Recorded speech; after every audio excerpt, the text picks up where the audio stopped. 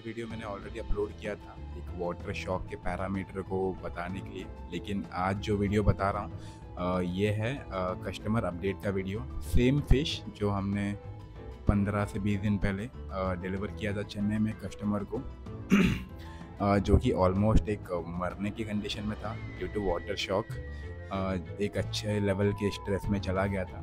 But हमने customer को थोड़े बहुत गाइडेंस किया था एंड उसके बाद में कस्टमर ने अपने हिसाब से फ़िश को मतलब हैंडल किया एंड उसको अपने वाटर कंडीशन में सेट किया काफ़ी बढ़िया तरीके से।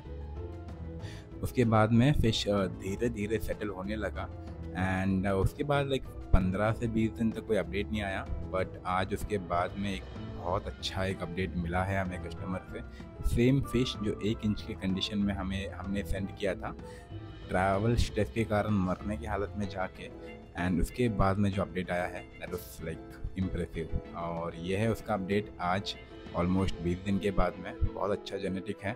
जेनेटिक के हिसाब से कस्टमर का ग्रूमिंग भी उतना अच्छा था, इसके लिए ये फ़िश का पोटेंशियल बहुत अच्छे से बाहर आया है।